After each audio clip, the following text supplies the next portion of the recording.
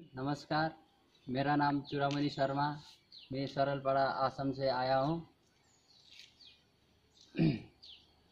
मेरा education qualification class twelve pass है।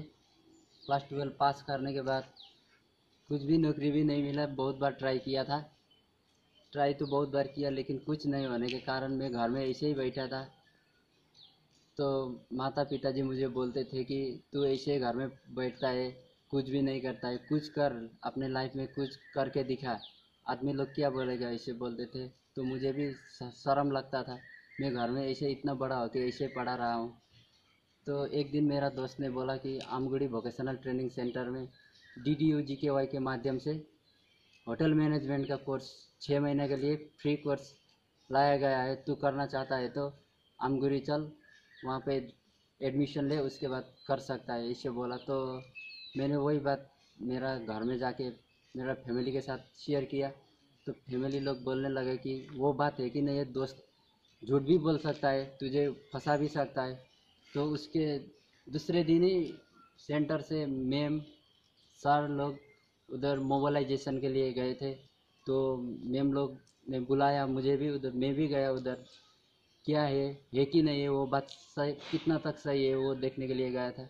तो मैम बोली कि हाँ ये ये बात सही है कि आमगुरी वोकेशनल ट्रेनिंग सेंटर में D D U G K Y का प्रोजेक्ट लाया गया है। उसमें छः महीने का होटल मैनेजमेंट और फ्री कोर्स है। तो मैंने उसी टाइम ठान लिया कि मैं छः महीना होटल मैनेजमेंट का ये कोर्स करूँगा। उसके बाद घर में गया, पिताजी को विस्तार में बता दिया मैम का बात तो पिताजी ने भी हाँ बोल दिया मुझे। तू जा, लेकिन जो करना है, ध्यान लगा के कर, मन लगा के कर, दूसरे को कुछ करके दिखा। अभी भी मैं ट्रेनिंग ही कर रहा हूँ इधर।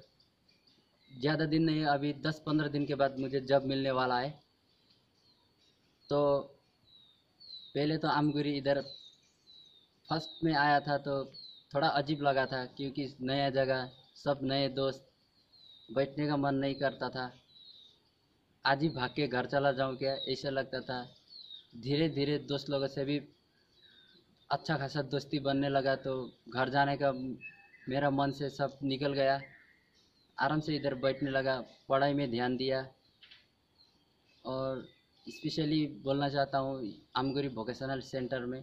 सेंटर को कि जो सर लोग ने हमारे लिए, जो हम लोग बिना काम करने वाला लड़का लड़की लोग घर में ऐसे पड़े रहते थे उन लोगों को इधर लाए फ्री कोर्स में ट्रेनिंग दिए होटल हॉस्टल हॉस्टल में रहने की जगह दिया और खाना मुक्त सब कुछ मुक्त तो उन लोगों को थैंक यू भी बोलना चाहता हूँ कि अगर आज सर लोग नहीं होते तो हम लोग आज होटल मैनेजमेंट का ये कोर्स नहीं कर पाते। हमें तो होटल के बारे में एक होटल का एज भी पता नहीं था, लेकिन आज छः महीने में बेसिक जितना भी होता है थोड़ा बहुत नॉलेज आ चुका है।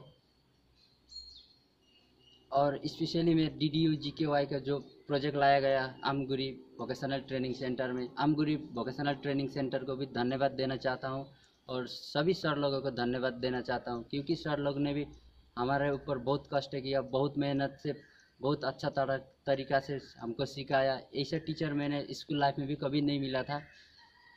कभी दोस्त बनते हैं, कभी पिताजी भी बनते हैं, कभी माताजी भी बनते हैं, सभी हमारे टीचर लोग ही बनते हैं। तो अभी ये आमगुरी वोकेशनल ट्रेनिंग सेंटर मेरे लिए घर जैसा हुआ है। तो स्पेशली मैं हमारा ब्लॉक ऑफ़िस को भी थैंक यू बोलना चाहता हूँ और D D U G K Y को भी थैंक यू बोलना चाहता हूँ। Thank you